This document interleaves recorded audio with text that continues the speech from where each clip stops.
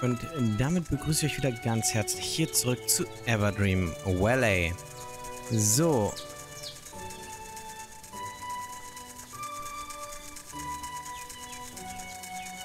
Den schnappen wir uns mal. Goliath-Käfer. Also. Da der Hund nicht ganz so will, wie ich es gerne möchte, und wir dem Hund folgen sollen, und es irgendwie nicht so funktioniert hat, wie es sollte, habe ich mich mal informiert, wo ich jetzt weiterkomme.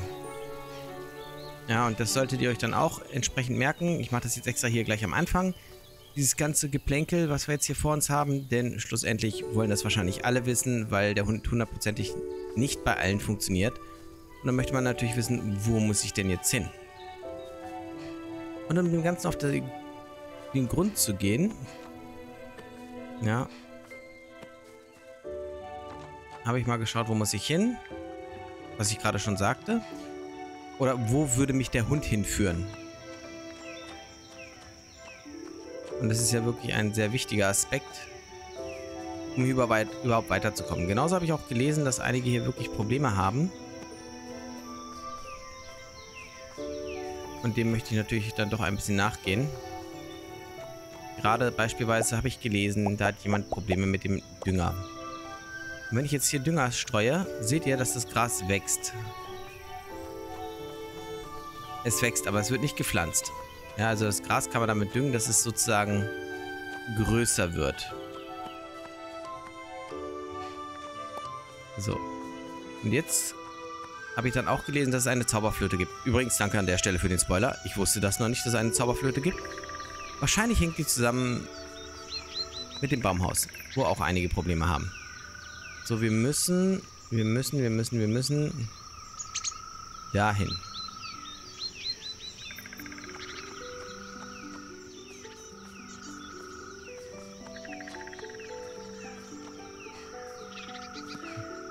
Es ist schön, wie man das hier so gar nicht sieht.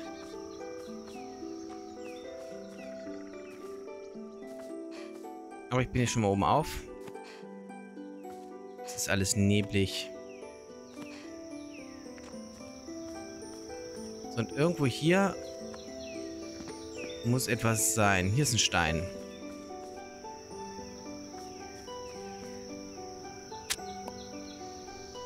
Du hast einen Geheimschlüssel. Yay, und es hat mal überhaupt nicht funktioniert. Und lass mich raten, der Hund, der... Der kommt hier gerade schon in die Richtung. Ey, ihr glaubt gar nicht, wie oft ich das ausprobiert habe. Oder warten wir jetzt hier, bis der Hund da ist.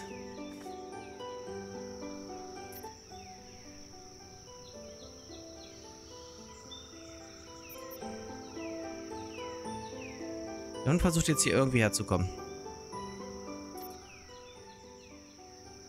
Da kommt er schon.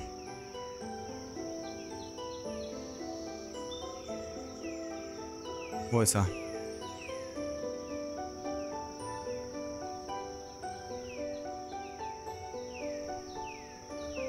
Wieso ist der denn jetzt da?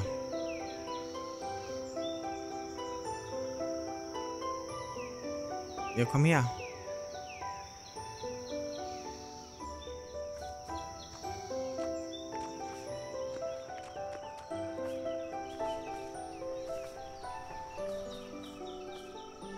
Scheinbar funktioniert die Quest nicht, wenn man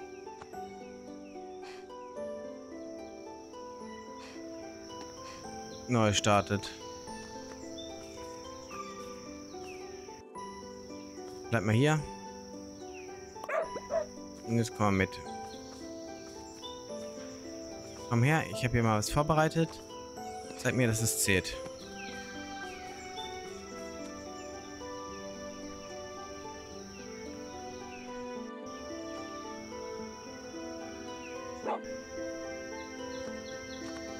Es ist ja super. Kommen wir wieder zu einem Bug, wo wir nicht weiterkommen. Dann können wir das Haus nicht weiterbauen und wir können dem Hund nicht folgen.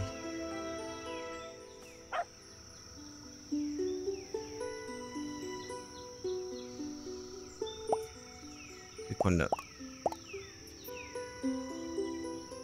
Ah, das war das Falsche.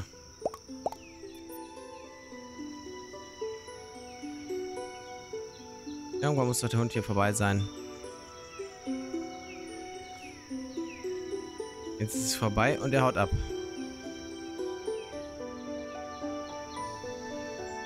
Nice. Funktioniert mal gar nicht.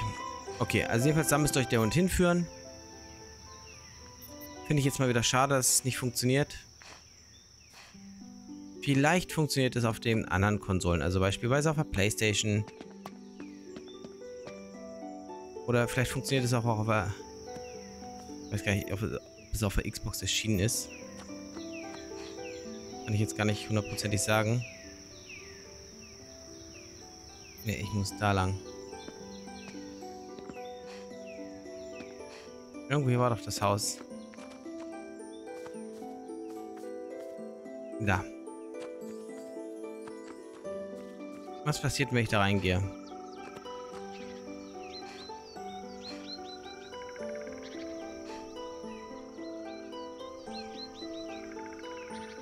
Nix. Also ich kann hier nicht rein, gar nichts. Okay.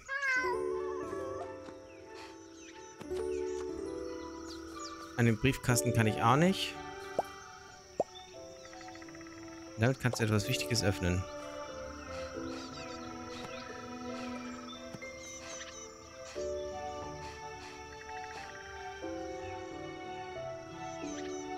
Nö, das nicht.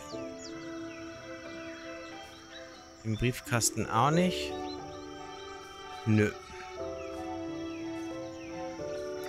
Tja, was soll ich sagen? Das ist doof gelaufen. Da muss ich schon wieder das Let's Play unterbrechen, bis dieser Bug behoben ist. Oh mein Gott. Leute. Wirklich bis hierhin echt alles super. Alles toll. Ja, klar, ein paar kleine Abstriche hier und da. Man konnte sich, ich sag jetzt mal, gewisserweise durchschummeln. Weil irgendwas halt nicht hundertprozentig gepasst hat, ne? Nehmen wir jetzt mal als Beispiel hier die unsichtbare Kollision. Nehmen wir mal das hier als Beispiel. Das ist so wieder ein Paradebeispiel. So, wo ist es? Wo war's? War ein bisschen weiter hier hinten. Hier konnte ich, glaube ich, lange über die Wand laufen. Oh. Oh. Okay, haben sie den Fehler schon mal behoben mit der unsichtbaren Wand. Okay, dann habe ich nichts gesagt. Aber ihr könnt gerne mal in einen der vorherigen Parts gucken. Wo ich das erste Mal hier war oder wo ich die Schweine und so weiter, da konnte ich entsprechend drüber laufen in der Luft. Insofern, also ich habe mir das nicht ausgedacht, ne? Wie gesagt, das ist ja auch alles in Ordnung, wenn sowas passiert. Das sind so Kleinigkeiten. Aber wenn dann halt ein Spiel komplett nicht funktioniert, weil eine spezielle Aufgabe nicht funktioniert, dann läuft da was ganz schön falsch. Und das ist etwas, das müssen die Entwickler dringend angehen, wenn sie die Spieler nicht vergraulen wollen, weil schlussendlich der Entwickler muss so schnell wie möglich reagieren, damit er das Vertrauen der Spieler nicht verliert. Denn wenn der Entwickler das Vertrauen verliert, kauft keiner mehr Spiele von diesem Entwickler. Gut, jetzt sollte man da nicht in dem Augenblick EA oder sowas nehmen, weil einige finden ja die Spiele trotzdem toll, genauso auch Ubisoft und so weiter und so weiter und so fort. Aber als Indie-Entwickler ist es umso wichtiger, dass hier das 1 und 1 beachtet wird. Ja, also hier haben sie, glaube ich, den ganz großen Fehler gemacht, dass sie das Spiel parallel released haben, obwohl es eigentlich noch gar nicht richtig fertig ist, wenn man es mal so nimmt, ne? Ich meine, hier alles in dieser Umgebung, es wirkt lebendig, es wirkt farbenfroh und so weiter und so weiter und so fort, aber ich meine, nur, nur allein, dass ich jetzt hier irgendein Schwein, das hier gerade rumläuft, nehme und es läuft in meinem Hof rum, ne? Genauso auch wie Wildschweine, was machen die da? Wir streicheln nochmal das Schwein.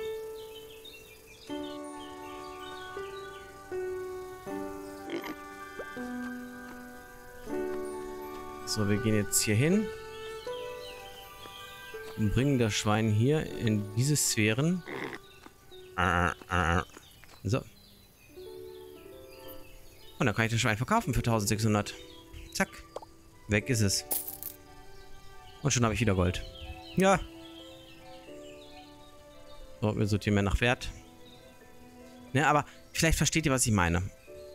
Ja, es sind so Kleinigkeiten. Wenn auf einmal Schweine bei mir auf der Farm auftauchen, warum soll ich dann vorher so weit weglaufen? Das sind Sachen, das hätte man bei weitem angenehmer lösen können. Ach, ein Tag verbleibend. Ja gut, aber es sollte kein Problem darstellen. 1500. Tja. Hol ich mir irgendwo ein Schwein dann habe ich das.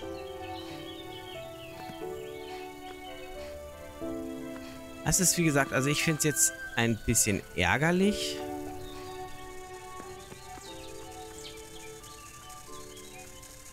Ah, ich wollte gerade sagen, wieso dreht sich das nicht? Aber doch macht es. Okay, das dreht sich, das dreht sich, das dreht sich. Das braucht ein bisschen, bis es mal reagiert. Okay.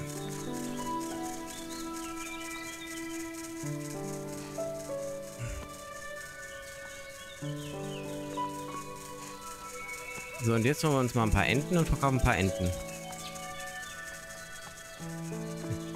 Weil davon haben wir massig.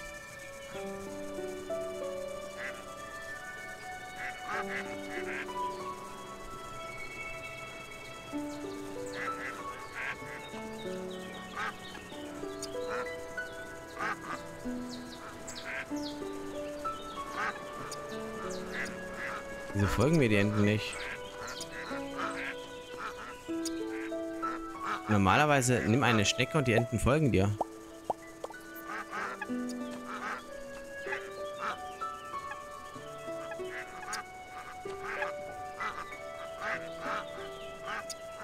Äh, okay. Ah, jetzt folgen sie mir. Folgen mir jetzt alle Enten? Wir gucken.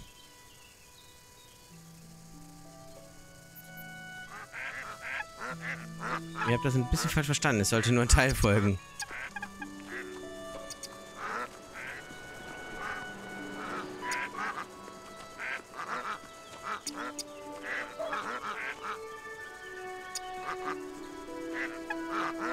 Ja. Äh, was machen die Enten da? Egal. es, ist, es ist einfach, ja. Hinterfragen wir das Ganze mal nicht, ne? Aber wie gesagt, ich komme mit dem Baumhaus nicht weiter, weil das halt nun mal leider verpackt ist. Ja, bau da oben oder errichte da oben ein Baumhaus.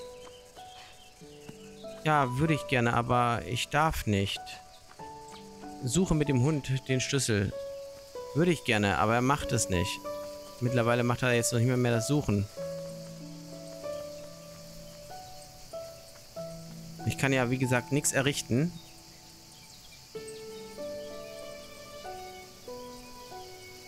Ja, und damit schließt sich der Kreis. Also wir müssen jetzt hier wirklich warten, wie es jetzt weitergeht. Mit einem Patch, was da behoben wird und so weiter, weil so ist es aktuell, ich sag mal, nicht tragbar. Wow, und jetzt gibt es auch noch Frame-Einbrüche. Nice.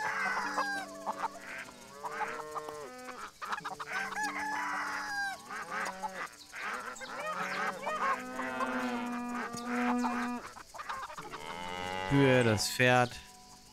Mit dem Pferd kann ich auch nicht reiten, was mir eigentlich sozusagen vorher ja nicht groß angekündigt wurde, aber angekündigt wurde. So von mir, hey, mit dem Pferd, da kannst du reiten. Ah, okay, gut, ich kann mit dem Pferd reiten. Aber irgendwie auch nicht. Wie gesagt, das ist, es soll jetzt kein Hate sein, das ist einfach nur Kritik. Ja. Die Leute zahlen dafür. Und dann sollen sie auch was ordentliches dafür bekommen. Ich meine, man zahlt dafür 20 Euro. Und klar, ich habe es geschenkt bekommen, aber das heißt nicht, wenn ich es geschenkt bekomme, dass ich da nicht ehrlich meine Kritik äußere.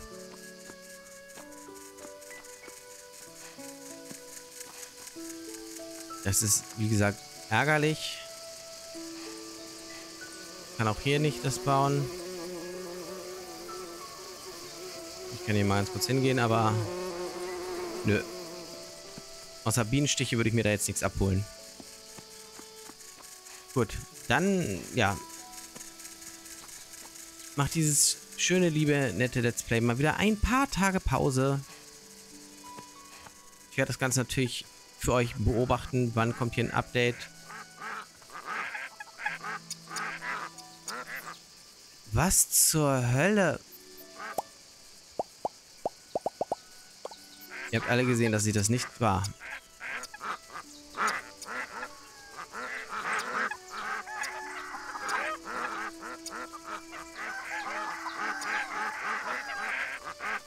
Ich werde den Spielstand auch nicht speichern, also ich werde das dann nochmal angehen.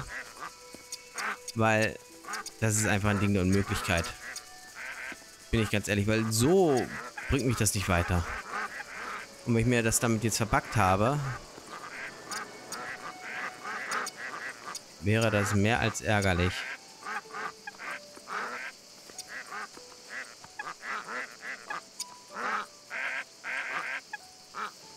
Gesamt 26 im Teich, 26.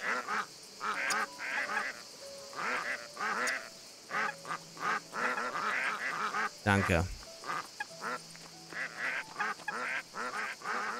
Okay, dann würde ich sagen, liebe Leute, ja, das war's schon wieder. Wir sehen uns im nächsten Part, hoffentlich mit dem Patch wieder. Ich sage danke, bis zum nächsten Mal und ich bin euer Tor. Haut rein. Tschö, tschö.